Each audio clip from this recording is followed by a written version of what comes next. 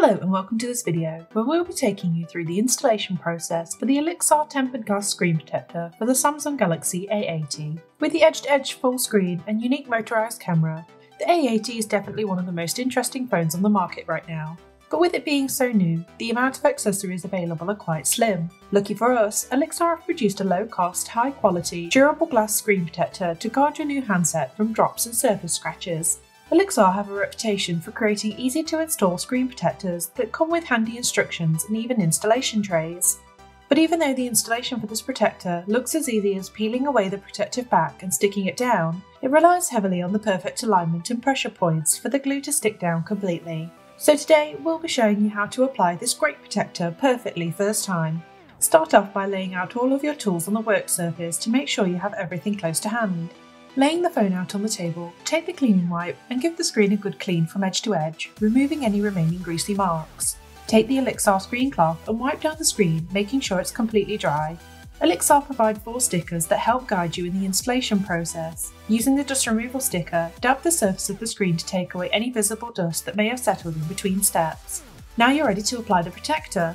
You can use the guide stickers provided to help you lower the screen into place without touching it, or you can simply hold it by the edges if you feel this is more accurate. Peel away the white protective back to the protector carefully, doing your best to avoid touching the adhesive side. Before you lower the protector completely onto the screen, be careful to align the black border with the screen edges exactly, otherwise the glue will not stick in the right places.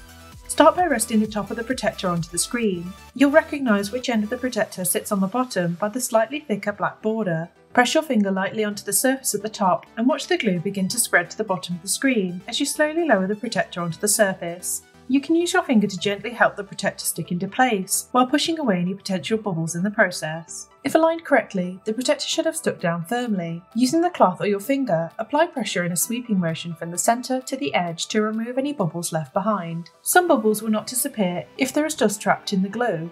If this is the case, then don't worry as you can carefully remove it by using the dust removal sticker before repeating the application process. If successful, you can now enjoy almost invisible full coverage protecting your screen from scratches and accidents. It feels smooth to the touch and responds perfectly with the phone's Touch ID features. With no compromise to the clarity and overall function of the phone, I highly recommend this low-cost accessory when protecting your new Samsung Galaxy A80. Thanks for watching this quick tutorial for applying the Olixar glass screen protector to the Samsung Galaxy A80.